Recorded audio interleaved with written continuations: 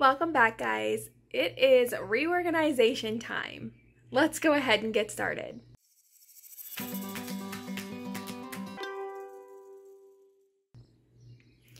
In today's video, we are going to just be hitting the reset button on my craft room slash studio and life. So to begin, let me just say that I am a busy mama. Um, I am the mom to a beautiful little girl who happens to have special needs. She has something called Pallister-Killian syndrome or PKS. She is a rare little little gem. She is one of less than 500 people in the world. And she's my little miracle. But that does mean that life is a little more busy than typical with our different appointments and therapies throughout the week. And on top of that, I am a business owner times two, which includes my Krafting with Kandace. And on top of that, I have two additional jobs. So to say that I stay busy is an understatement on top of daily tasks of just, you know, eating and keeping up with life and socializing and anything else that I want to try to fit in. Time just gets away from me that happens to me a lot and right now i'm just reached a point at life that i just need to hit the reset button take some time to focus on getting back to the basics so that i can continue forward. That means starting in on cleaning up my craft room and studio because it is absolutely out of control and very stressy and messy and I just cannot handle that any longer. So I'm going to start out with if you are one of those people that can just keep it all together and everything is spick and span and clean, bless you. You are one of just one of those people I look up to and admire, but I am just not that person. This video will probably make you cringe. Now, if you're going to try to shame me or come at me in my comments, absolutely you are not welcome here. Um, I don't tolerate that behavior. Don't come at me or my subscribers. This is a safe space and I have no shame, so good luck. I just want to be real and raw with you guys and show you what it looks like behind the camera. I am a person just like you guys, and sometimes I just don't have enough time in the day. So, let's just start out with what my room looks like. It is just, there are just paths. It is just crammed packed.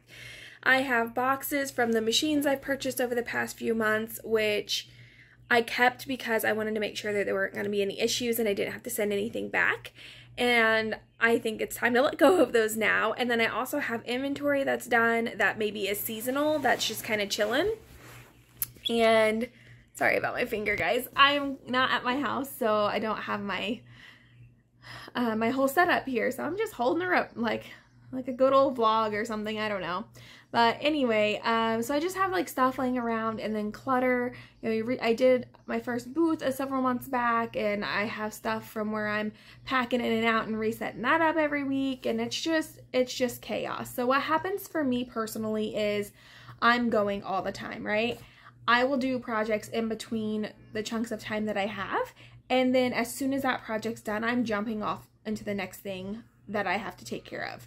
That means I'm just pushing aside the stuff instead of cleaning up and resetting right then and there. I'm just putting it off with the intentions of cleaning up before my next project. Then that doesn't happen, and we get into the next project, and it's the same thing, and that stuff gets pushed aside, and it's just revolving until it's just I, I get so stressed out. Like the room being like this, it stresses me out, it overwhelms me I feel like then it's too big of a task for me to tackle right now because I don't have time.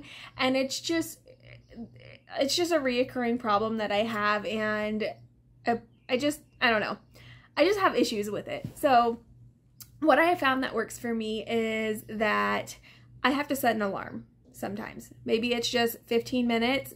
For this one, it was three hours. I was able to just know that I had to do this, set a three hour alarm, put it um, down and as put my phone down and put on some music and just go for three hours. Or say for you it's 15 minutes. In that 15 minutes how much can you clean and how much can you get done? Go for it. Focus on one area or one space. For me i started with my desk and i just focused all my energy on that and getting that completed Because what happens to me is I'll start on one area, I'll go to put something away that was in that area, and to where it goes, I'll get to that area, and I'm like, oh, well, then I should probably do this too. And it's just reoccurring, and then that 15 minutes or hour goes by, and I've accomplished nothing. I have 15 areas that are unfinished, partially done, but unfinished. I can't check anything off. I don't feel accomplished. It's very just disheartening. And so just focus on that one thing. And that's what works best for me. So I'm going to start with my desk, get that area done, then move to the next. And I just did this all the way around my room until I was ready to say, okay, this is enough for now. Um, sweep up and mop up. And let me tell you, I feel so relieved to have that done. I do have a lot of areas still where, you know, I need to reorganize a drawer or, um, I don't know, a drawer or a bucket or something to where I can get it all back to, you know, being nice and neat. But for now, this was good enough it, to get me started on that. Now, I will say if you see anything in my room as how I store anything or um, a project that I have or an item that I have that you have questions about, let me know in the comments. I'm happy to try to answer those for you. Um, like for instance, my ribbon holders and things. Excuse me, those are just plastic gutters my boyfriend had a strip of like a 10 foot strip of guttering that he didn't end up using for um, reguttering the garage and he just had it in storage. And so I was like hey can we use that? And we pulled it down. We made little shelves out of it. So I have that on my closet door holding all of my ribbon and I also have it on my wall holding a lot of my paints um, and stuff right there by my desk the ones that I use all the time so it's easy access and I can grab them. So anything like that um, I do have a video for that. It's just a quick short, but just kind of showing you how I did it. Um, and yeah, so if you have questions about anything else, let me know. I really just hope to share this with you in order to inspire you if you have an area in your house that has just been daunting and it just seems so overwhelming. Again, what's worked for me is just set an alarm, even if it's just five minutes. Set an alarm for five minutes and do everything that you can in that five minutes. And most of the time, it's just getting started. Once you get started and on the roll, it's a lot easier. Um, it's, I don't know, sometimes simple tasks seem very overwhelming to me and I just need to get started on them. And then sometimes they take me like two minutes and I'm like, why did I put so much pressure on this one thing when it didn't even take me that long? But I don't know if that happens to everybody else. I don't know if maybe I'm just genuinely undiagnosed ADHD, and I don't mean that in the sense of everybody who says, oh gosh, I'm just ADHD. No, I mean like I check all the boxes, so probably. But yeah, again, I am hoping to just kind of reset, reorganize, get myself back on track. And the next video that you see from me, it may not be the typical project video either, but I just need you guys to understand and bear with me and have some patience because I'm doing what I need to do for me right now. And that again is just to hit the reset button and get myself reorganized. That way I can provide you guys with the best content that I have. So give me a thumbs up if this video was helpful for you anyway. If you are like me and just messy and stressy, um, if you relate with it at all. Um, and if you need a place to chat, hit up my comments. Happy to talk with you. You can join my Facebook group where you can share all of your projects and interact with me and other like-minded people. And yeah, subscribe if you're new here. If you're returning, thank you guys so much. I love you very much. And I will see you in the next one.